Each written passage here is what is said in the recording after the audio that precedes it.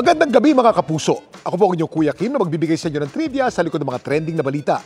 Dahil sa sama ng panahon, naging hamon para sa maraming driver ang pagbaybay sa mga kalsada. Gaya na lamang ng karanasan ng isang pamilya na pauwi mula sa outing, ang kalsada kasi binaha na magka-flash flood sa kalapit nitong talon. Oh. Kung ganitong eksena ang maaabutan mo sa kalsada, tutuloy ka pa ba? Diyan, diyan, oh. Ito ang hinarap ng pamilya ni John na mapadaan kamakailan sa Tamaraw Falls sa Puerto Galera. Nag-outing po kami ng family ko. Pauwi na kami nga nun. Pero dahil sa sama ng panahon, ang agos ng talon na nasa tabi lamang ng kalsada, tila nagngangalit. Ang lakas po ng agos ng tubig. Yung kasama ko po, tarantang-taranta na po siya. Kalmado lang po ako. Diyan, diyan naman. Pero si John hindi na raw makatras. Ang dami po sasakyan sa likod. Natignan ko na rin po yung daanan. Pagkakita ko po, may guardrail sa may kanan. Sabi ko parang kaya naman. Diyan, diyan, mabil. Hanggang sa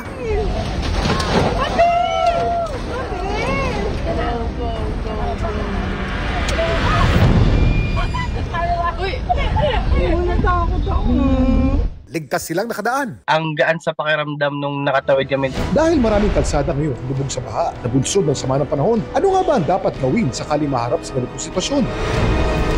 Kuya Kim, ano na?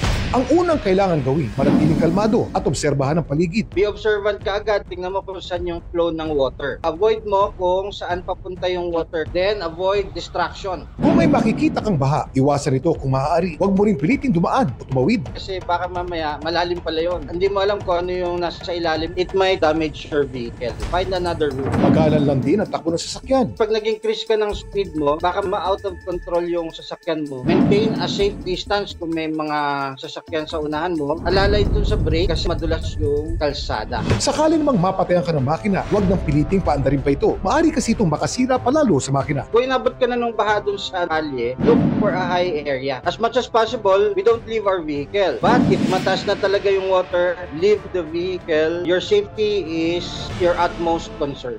Pero may ideya ba kayo kung gaano kalakas ang rumaragas ang baha?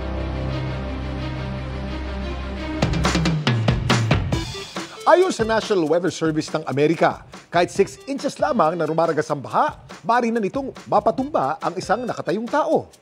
Habang ang baha namang may taas na 12 inches, kaya nang anurin ang isang maliit na sasakyan. Kaya kung maaari, tuwing bumabaha, manatili tayo sa loob ng ating mga bahay para mas ligtas. Samantala, para malaman ang trivia sa likod ng viral na balita, i-tweet o i-comment lang, hashtag Kuya Kim. Ano na? Laging tandaan, kimportante ang may alam. Ako po si Kuya Kim at sagot ko kayo 24 horas.